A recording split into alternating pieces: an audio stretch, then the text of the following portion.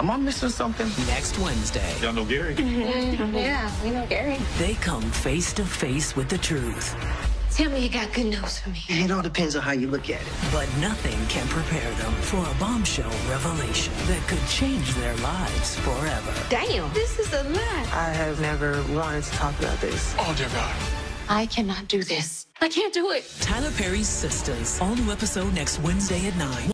Hey my lovies, welcome back to my channel. I hope everyone is doing amazing and you guys here with another trailer breakdown.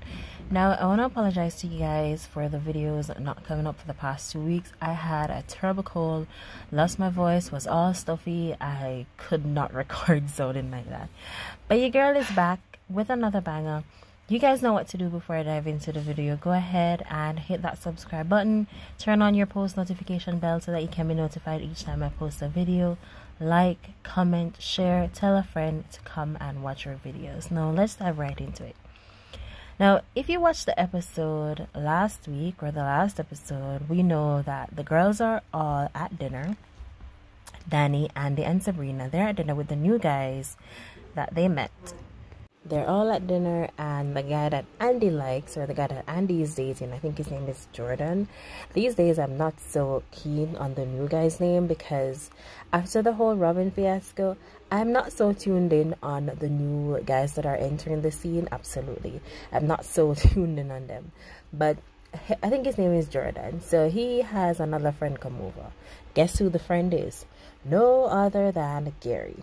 Now, he's introduced to Andi. Like, Andi, this is Gary, this is Andi.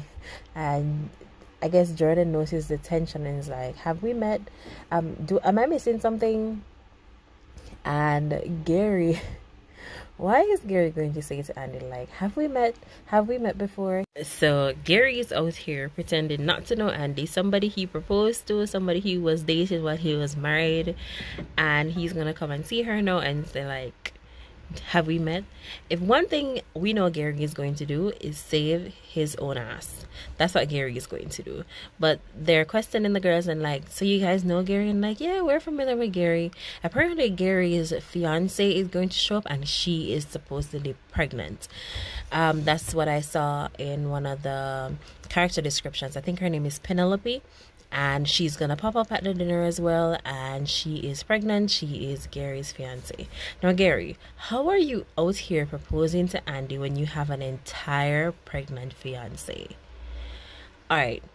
My thought is that it's not his child and she's probably she was probably pregnant before and they got engaged. Because when did gary find the time to have a whole fiance that's pregnant? Like i really want to know when he found the time but if it's one thing tyler is going to do is keep gary relevant.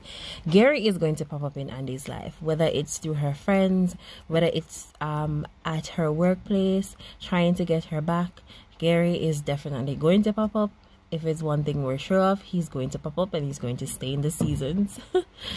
um, the next question I have is why is I understand that she's trying to avoid Preston, but why is Danni even at the dinner being all cozy with this Tony guy? I thought you and Preston were official. Why are we still running away from serious conversations and avoiding the person that you're supposedly in a relationship with? Why are we still doing that? I thought we got to a point where like okay we're gonna try this relationship. If you don't want this man Danni let him go. Like you pulling him along running from um running from the serious conversations and then going on dates with other guys. It's the same thing that you were doing a season ago or two seasons ago and we're back here again. And this time you actually made it official with him. So why are we still running? If you're not interested if he's just not your type and it's just not clicking. Stop trying to force it and let preston go. Let him find somebody else. Like you forcing the relationship and then um hiding him out i don't think that's fair. So i think it's time for you to let him go because we've said it so many times for you to give him a chance and you, you really don't want to so at this point let him go the next scene we also see in the trailer is Karen. So Karen and the contractor. The contractor comes over to give her a coat, and the coat is apparently ridiculous. I mean, she should have kept that check from Zac. I understand that you were upset, but think of it as him doing it to support his child because if the mother of the child has a source of income it would be easier on the father right so you should have thought of it like that I understand that you're upset, but still take the money, you know, cash the check, do your thing. You have a source of income. It's easier on the father. The father is less worried because there's money rolling in on the mom's side. He doesn't have to worry about um, the crazy situation that Michael is in now because he knows that the mother is stable financially and doesn't have to work crazy hours and will be able to support his child. I'm sure that's what he was thinking when he gave you that check. Like it wasn't any strings attached or anything. It was just wanting you to be stable financially so that his child doesn't have to go through anything or want for anything when he's not there. I think that's what he was thinking when he gave her that check. Like, do you guys agree that that's what Zac was thinking when he gave Karen that check to fix the salon? Now, speaking of Michael, so Fatima and Zac decides that, listen, we're gonna go get him because, I mean, sweet baby Michael is storing food in pockets. Like, I've seen that firsthand where kids, they're in so much competition to eat and to get food because there's sometimes it's so many of them or there's so little food so they try to store the food for a later time when they get hungry so that they don't have to stay hungry. So Michael's situation is crazy. So Zac and Fatima decide that listen we're gonna go get him but when they show up Heather is long gone with a baby. No. I don't understand why Heather is running. Why do you want the money, but you don't want the child to be in his father's life. I mean, girl, you're getting an entirely free babysitter.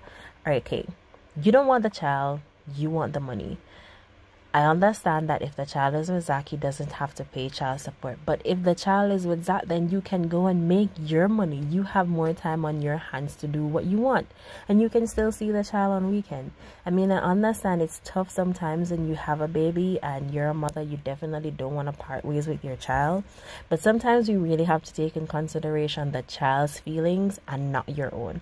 So if the situation is better with the father, then go ahead and give that child to the father for the time being until you're able to stand on your two feet, then you can always come to some decision to have more time with the child. But don't deprive a child of anything because of your pride and because of wanting to stand on being a single mother.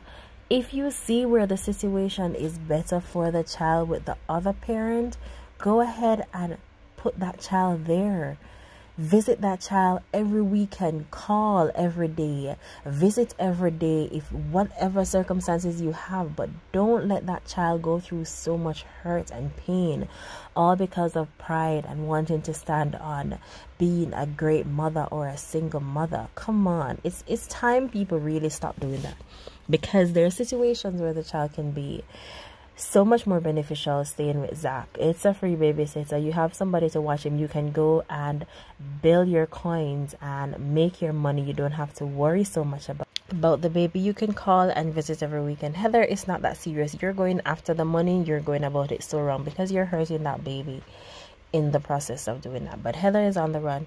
We see another scene where um, Zac and Fatima are sitting in the car, and Fatima is about to tell him something. She's like, I've, I've never spoken about this before. Uh, do you guys think that Fatima is about to tell Zac about the abortion that she had for um for the, the her ex boyfriend? For Ian, do you think that's what he's going to tell him, or is it probably going to be a childhood story that she's going to share, like maybe something that happened in the past when she was a kid? It could be one of those situations or she's definitely going to tell him about the abortion. So tell me in the comments guys. Tell me in the comments what you think fatima is about to confess to that because she said that she's never talked about it before. Um i'm not sure if angela knows about it. Probably because it's her best friend. You know you tell your best friend everything but tell me in the comments what do you think that fatima is about to disclose to zac in the next episode. I can't wait for this episode because I want to see the whole Gary situation. Like, Danni is not about to let up on him. Danni is definitely going to find out what's up and why is he here? Why is he pretending not to know them? And why is he in such a hurry to leave? Danni is definitely going to try to find out that.